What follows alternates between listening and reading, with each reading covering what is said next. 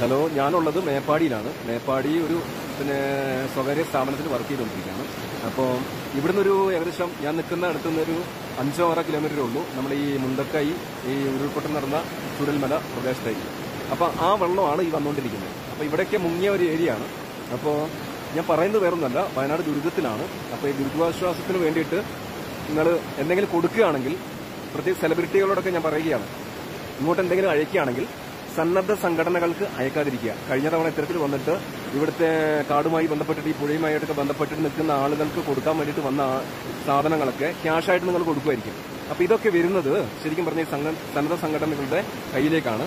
അത് വേണ്ട. നിങ്ങൾക്ക് ആഗ്രഹം ഉണ്ടെങ്കിൽ എന്തെങ്കിലും ഉണ്ടെങ്കിൽ നേരിട്ട് കൊണ്ട് കൊടുക്കുക. അത് തന്നെയാണ്.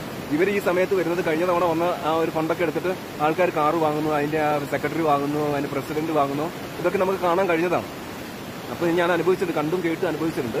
ഇവിടുത്തെ ഊരിലെ ആൾക്കാർക്കോ അവരുടെ കാടുമായിട്ട് ബന്ധപ്പെട്ട് നിൽക്കുന്ന ആളുകൾക്കോ ഒരു സാധനം നിങ്ങൾ കൊടുത്തൊരു സാധനം കഴിഞ്ഞ തവണയാണെങ്കിൽ അതിന് മുമ്പത്തെ സമയമാണ് അവരുടെ കൈകളിലേക്ക് എത്തി എത്തിയിട്ടില്ല. അപ്പൊ ഇത്തവണ അങ്ങനെ എന്തെങ്കിലും നിങ്ങൾക്ക് കൊടുക്കണമെന്ന് ആഗ്രഹമുണ്ടെങ്കിൽ നേരിട്ട് വരിക അവരുടെ കൈകളിൽ ഏൽപ്പിക്കുക.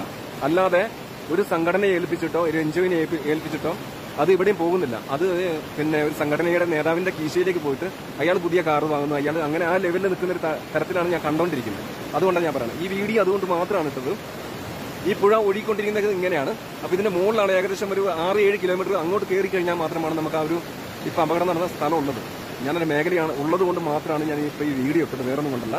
ഇവിടുത്തെ ജീവന് ഏകദേശം അവരുടെ കൂടെ തന്നെയാണ്. കാരണം ആ കുടുംബങ്ങളുടെ കൂടെ തന്നെയാണ്. അതുകൊണ്ട് തന്നെയാണ് ഈ വർക്ക് ഏറ്റെടുത്തിട്ട് നമ്മളിവിടെ നിൽക്കുന്നത്. ഒത്തിരി താങ്ക്സ് ഉണ്ട്.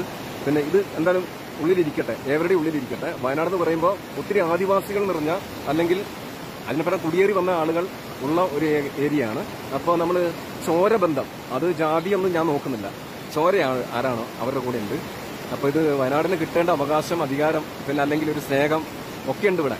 അപ്പോൾ അത് നമ്മൾ ദുരിതാശ്വാസം പറഞ്ഞ് നമ്മൾ കുറേ കുറേ ഇങ്ങനെ കൊടുത്തുവിടും അവിടെ ഞങ്ങൾ കൊടുത്തിട്ടുണ്ടല്ലോ ഇവിടെ ഞങ്ങൾ കൊടുത്തിട്ടുണ്ടല്ലോ പറഞ്ഞു പക്ഷേ ഇതൊക്കെ കൈക്കലാക്കി വരുന്നത് മറ്റ് ചില ആൾക്കാരാണ്. അവർ നാളെ അവരുടെ ചുവന്ന കാറുകളിൽ പച്ച കാറുകളിൽ നീല കാറുകളിൽ ഒക്കെ പോകുന്നത് ഞങ്ങൾ തന്നെ കണ്ടിട്ട് ഞങ്ങൾ തന്നെ അഭിപ്രായം പറഞ്ഞിട്ടിരിക്കുന്ന ഒരു സമയമായതുകൊണ്ട് ഇത് നിങ്ങളുടെ ശ്രദ്ധയിൽപ്പെടുത്താൻ വേണ്ടിയിട്ടാണ് വിട്ടത്. പ്രത്യേകിച്ച് പിന്നെ ഇവിടുത്തെ ഗോത്ര സമുദായമായിട്ട് ബന്ധപ്പെട്ട് നിൽക്കുന്ന എൻ ജി ഒസിന്റെ കയ്യിൽ സംഘടനകളുടെ കയ്യിൽ ഇത്തരത്തിലുള്ള നിങ്ങൾ എന്ത് കൊടുക്കാൻ ആഗ്രഹിക്കുന്ന അത് ഏൽപ്പിക്കാതിരിക്കുക. ഇവിടുത്തെ ഗോത്രത്തിന്റെ കയ്യിലോ അല്ല ഗോത്രവുമായി ബന്ധപ്പെട്ട് കാടുമായിട്ട് ബന്ധപ്പെട്ട് നിൽക്കുന്ന ആളുകളുടെ കയ്യിലോ ഇത് എത്തുന്നില്ല. ഇത് തന്നെയാണ്. അപ്പോൾ അത് ശ്രദ്ധയിൽപ്പെടുത്താൻ വേണ്ടിയിട്ടാണ് ഈ വീഡിയോ. താങ്ക്